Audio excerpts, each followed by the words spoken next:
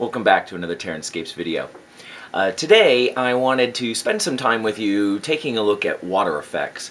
Uh, I recently had a customer who, um, if you saw the shore boards that I sent out recently, uh, they are coated in my typical Mod Podge to get the ripple effect. And he has some uh, beautifully crafted miniature ships that he'd like to place on the surface of the ocean. And I've never actually had a specific uh, request to make the surface of water playable and I see the advantages of doing that and I'm always looking to try to improve things. So I've decided to take uh, the last you know week and a half or so and really go through and try to do some re-examining of the materials that I use for the water effects and look at some alternatives and try to piece out a way that I can improve them. Um, so what I'm going to do is I'm going to walk you through all of the experiments that I did in order, if I can remember all the steps, because it has been a little while. I started this around the first of the month, um, and now it's the 14th or so. Oh, I guess it's two weeks. Anyway, um, so I wanted to walk you through all of that and show you the, the steps that I've gone, the problems that I see with different materials, and, um, and actually this is sort of a revisit of a topic. You may remember um, about probably I don't know maybe eight months ago? My memory is not so good but um, I actually did a whole series on water effects. And so um, you know, if you're interested in just seeing what I come up with at the end of this, um, just skip to the end of the video, the last 10 minutes or 5 minutes or so, and you can get the summary of it. But if you're interested in following me and seeing all the steps that I went through, um, hopefully it'll be helpful to you, uh, you know, if you're interested in doing water effects, because there are a lot of techniques and materials out there on the market, and uh, a lot of people will make recommendations and there's not a really good explanation of how these effects compare. So I'm hoping that this can be useful to the community as a whole, and you can at least see how I've justified the direction I'm going to go um, in the near future. So let's take a closer look at these and see what I've learned. So uh, about uh, two weeks ago, I guess, um, after talking with the customer, I decided to go to the local hardware store and purchase a variety of materials to try them out. I wanted to select acrylic caulks because sometimes I like to dry brush the um, water effects and you can't dry brush silicone, paint doesn't stick to it. So I thought, well, let's go with the acrylics. I'm going to buy three varieties. They're all supposed to dry clear.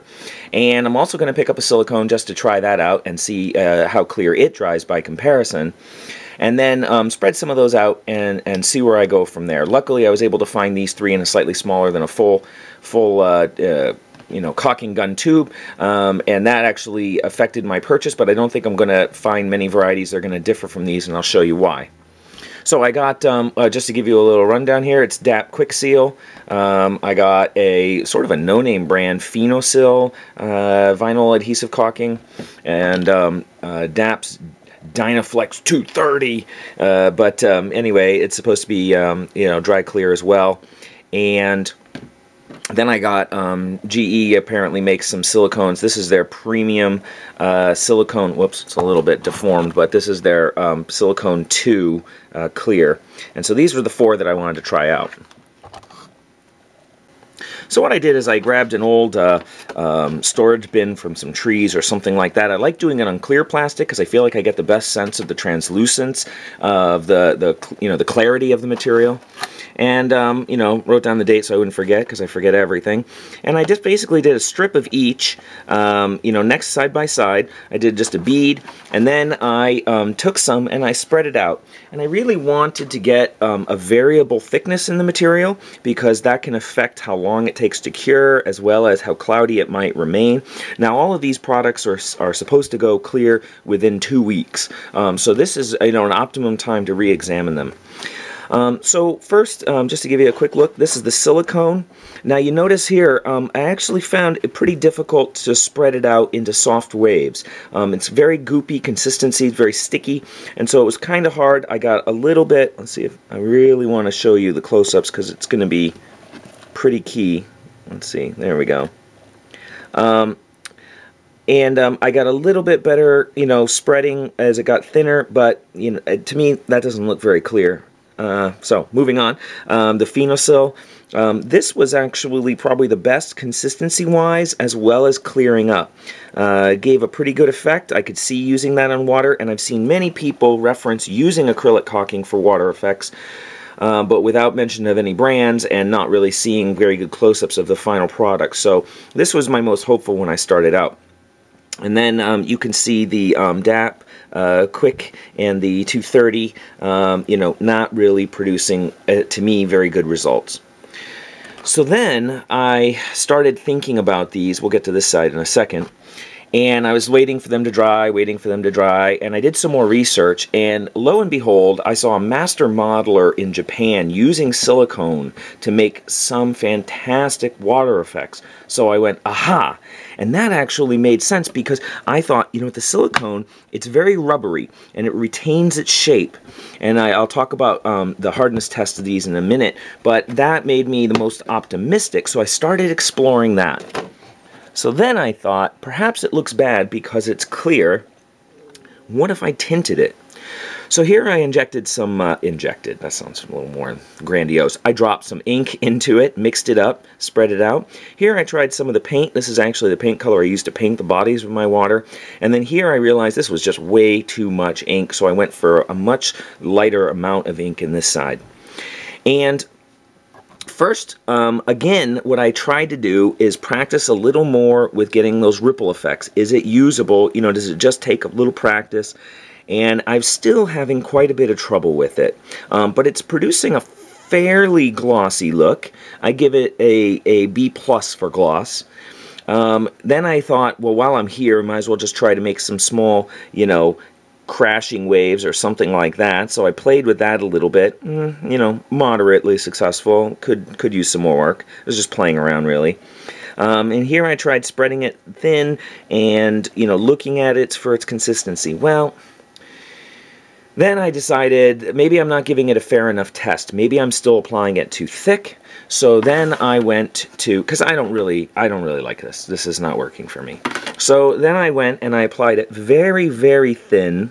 And I saw somebody else in another video using a stippling motion with a spoon to pick up the peaks and make it look uneven and like it's waves. So I tried that on this, and it, mm, it's just not the effect I want. I want soft rolling waves, not a rapid, you know, crashing of, of, of small peaks. And I don't know. I don't know. I'm not too happy with it. It's very stiff, it's very hard to spread, and it might be the right choice for certain kinds of effects, but not universal for all the water effects I'd like to do with it. So I set that aside. Back to the drawing board. Research, research, video, video, research, video. Casting. I saw that a bunch of people, whoops, I should go, whoops, wrong one, that a bunch of people have been using silicone rubber and thinning it to use it for mold making. I didn't realize you could thin it, and actually I had a friend mention, have you thought about thinning it? So I got very excited about that. So a bottle of xylene later, yeah, you have to use xylene or toluene. Uh, both of those are not the friendliest chemicals to work with. Um, so, you know, uh, but I'm not afraid if it's going to give me the product I want, I'll, I'll embrace it. But um, here's what I did for this one then.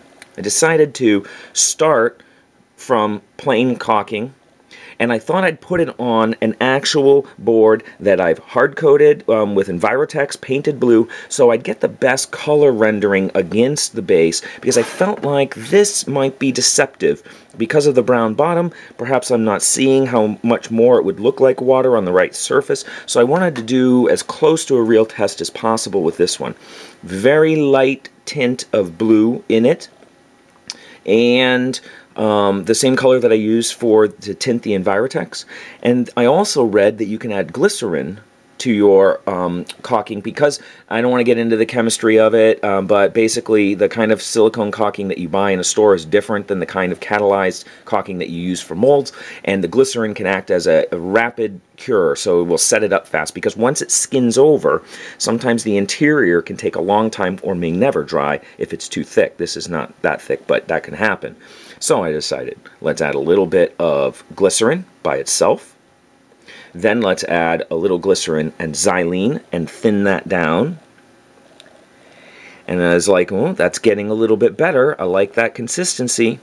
Then I did a lot more xylene and got a, I think, not a bad effect. Like, just for an experiment, I was like, this could be really workable. And again, here's where I start to revisit the concept of, oh, actually, I should show you the top half because I modified the bottom half. So really, we'll just look at the top here.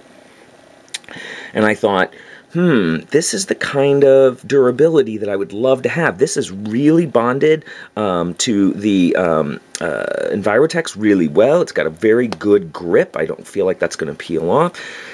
So I set that aside, looked at it for a couple days, and thought about it, and realized that this side, let's see if I can get it to gleam a little bit. There we go. Look at how nice and glossy the original is.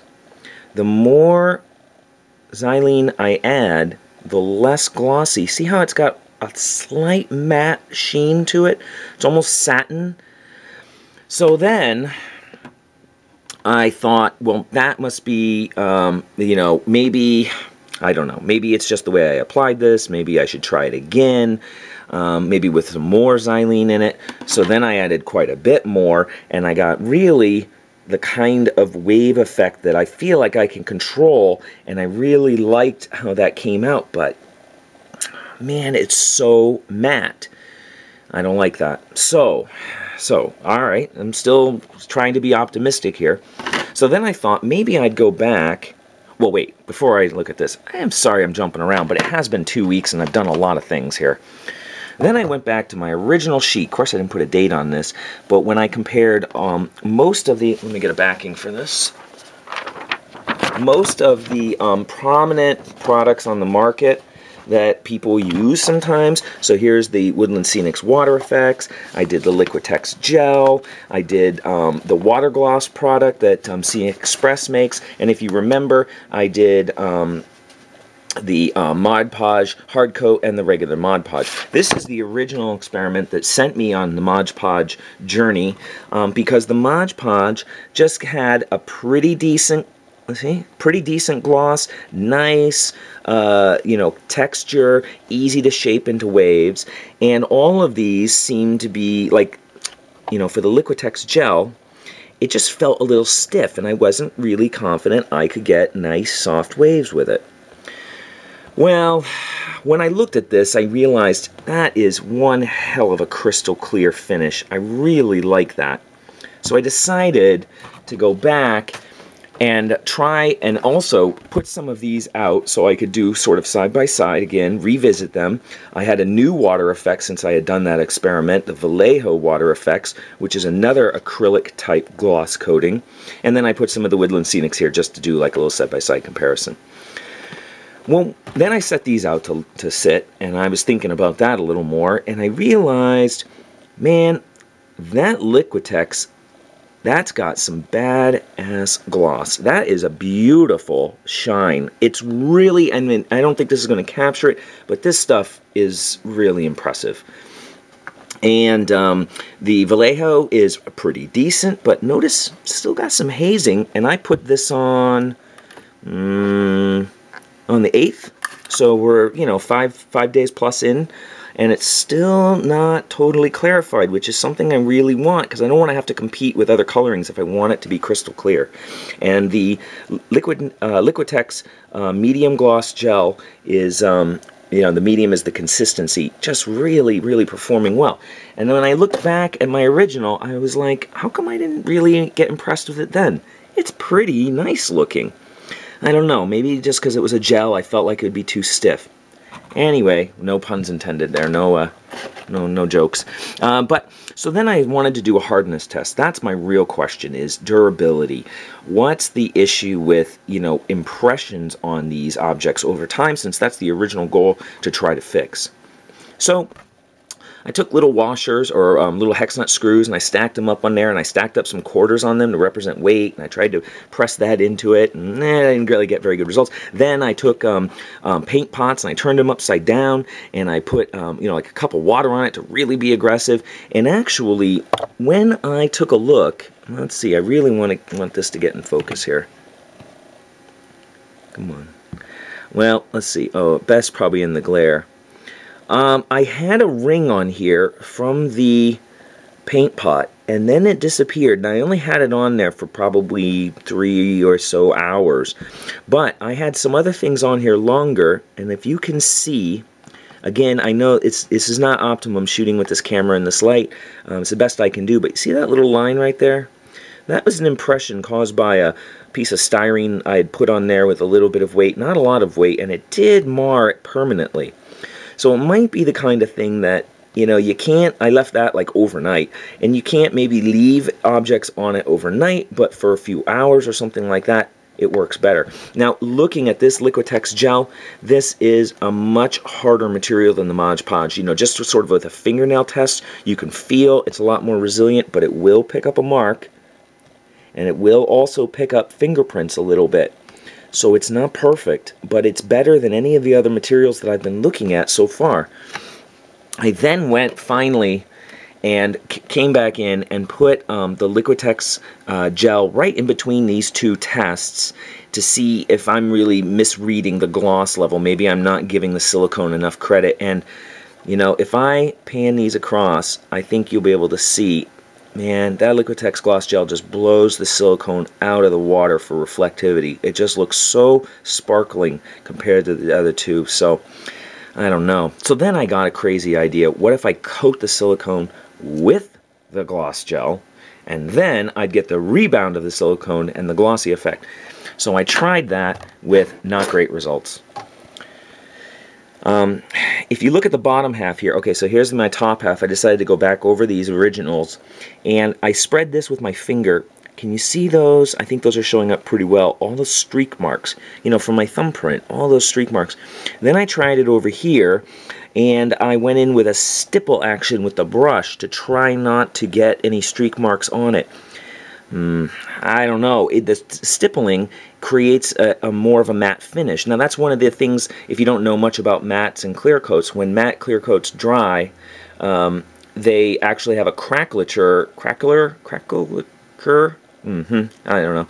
Uh, they crack on the surface, and that breaks up the light as it bounces off, so it scatters the light, and that uh, causes that matte effect where you don't get all those bright lights bouncing back at you.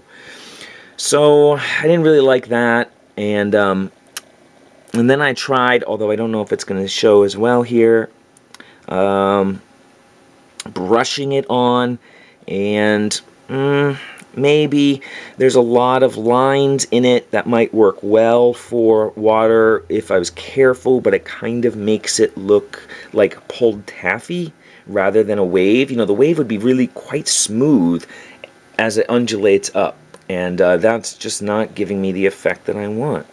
Um, so, and it doesn't really even look much glossier than the original. You know, that's not really a big improvement. So, so, I think I'm going with the Liquitex gel. I think that's where we're going to go from here. So if you kept up with me through all of that, that's probably the most rambling video I've shot, and I don't like to just dribble on, even though I do sometimes, but I, I wanted to share with you at least all of the little processes that I went through and the ways that I tried to compare them. And I find it a bit ironic that I'm coming back to something that I tested as an experiment probably, you know, like I said, eight months ago. One of the other concerns I have with acrylics is that sometimes they can reabsorb uh, moisture and they'll begin to cloud up under high humidity conditions. Um, you know, so I, at least I have this as a test piece that I can continue to monitor over time. But you know, having looked at this and knowing that I put this down eight months ago, it looks great right now, and I and the humidity's been going up. We've been getting rain, so I'm feeling pretty optimistic about it. It's the hardest acrylic material out of all the materials that I've tested so far, uh, and it's fairly reasonably priced. Um, you know, the, a gallon of Mod Podge I think was something in around the $12 range, and a pint, um, I think um, a 16 ounce jar I saw online of Liquitex medium bodied gloss gel is uh, about six or seven dollars. So I mean it, it's considerably more expensive on a per unit volume, but not terribly expensive, and, and actually a bit cheaper than some of the commercial products that are sold out there for water effects. So, um, you know, in conclusion, um, you know, that's the direction I'm going to go unless I can get some information from somebody that says uh, there's something better out there. Um, you know, I see a lot of people doing water effects a lot of different ways, and I know a lot of um, you know terrain uh, studios and, and shops are doing different things, and I'd love to share. You know, uh, this is sort of an overture to the community. If you've got another product that you think works fantastic and you're willing to share, that would be great. Um, but I'm really looking for something that meets that criteria of super high gloss, ultra clear transparency when it dries, and the highest durability possible to prevent marring. Um, and so those three qualities are very difficult to find in a single material. Um, I heard rumor from somebody out there that they were going to be making perhaps some kind of a, of a, of a non-self-leveling epoxy resin. Mm, so that would be super awesome if that ever comes out, but we may be a ways down the road from that. Um, in any case, I hope you enjoyed this, found something useful out of it, and uh, keep your eye on the channel. I'll be back soon with another video, and uh, thanks once again for taking the time to watch. I, I really appreciate it. If you have any questions, feel free to leave comments down below. I'm happy to answer those and try to share a little more information if I missed something in this video. So thanks.